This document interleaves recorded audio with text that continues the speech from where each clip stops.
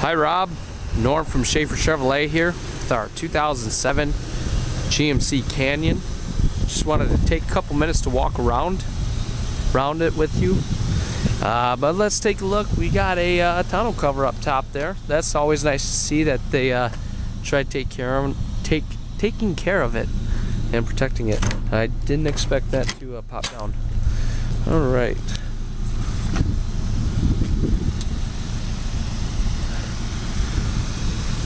Looks like it has some pretty decent tires on it, uh, but a pretty basic truck overall. Does not have the uh, keyless entry. You get your roll-up windows, manual locks. And but you do have this pretty nice leather in here. I see just a little tear there. I noticed uh, this was really the only spot that I could see. But uh, yeah, let's go ahead and hop in. What you'll see when you're inside, uh, starting on the left, we have our light settings for interior and exterior, cargo bed light, uh, parking brake. Right over here, we have our cruise control settings, as well as our blinkers and wipers. You have your shifter over there.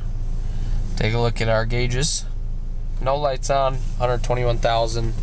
Um, and right over in our center cl cluster here, we have a uh, aftermarket stereo.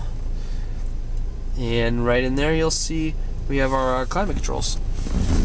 Down below, we got a couple 12 volt chargers, cup holder there. But overall, uh, just pretty straightforward. Nice little truck, starts up no problems, and uh, drives out okay.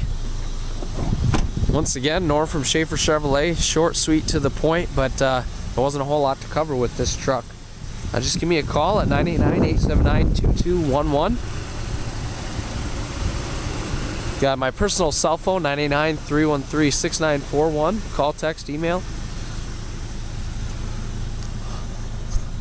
Appreciate you taking a couple minutes out of your day to watch my video that I shot for you on this truck.